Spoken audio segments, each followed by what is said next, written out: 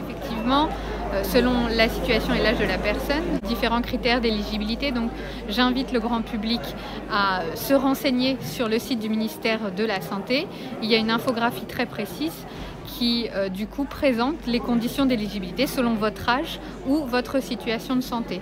Et ensuite, quand vous euh, êtes sur la plateforme Doctolib pour prendre rendez-vous, il faut bien lire toutes les consignes, voilà.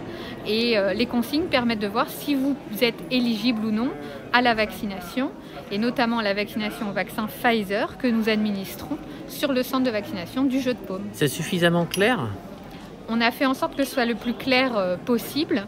Après, euh, j'invite chaque personne vraiment à aller se renseigner ou bien aussi à se rapprocher de son professionnel de santé, pharmacien, médecin, s'il a un doute sur son éligibilité à la vaccination.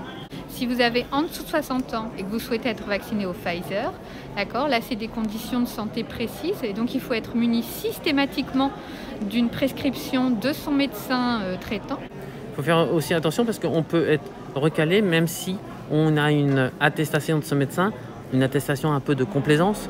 Ici, en centre de vaccination, euh, nous avons des médecins qui vont vous recevoir en entretien et c'est bien le médecin in fine du centre de vaccination qui prendra la décision de la vaccination ou pas euh, selon chaque patient. Ce week-end, il y a eu 10% de personnes recalées, donc on peut comprendre que c'est frustrant, mais euh, malgré tout, vous avez réussi à honorer les doses de vaccin? Oui, depuis l'ouverture du premier centre de vaccination à Samprin, donc le 20 janvier dernier, nous n'avons jamais terminé un seul soir en n'ayant pas honoré toutes nos doses. À chaque fois, toutes les doses ont été honorées et administrées à un patient.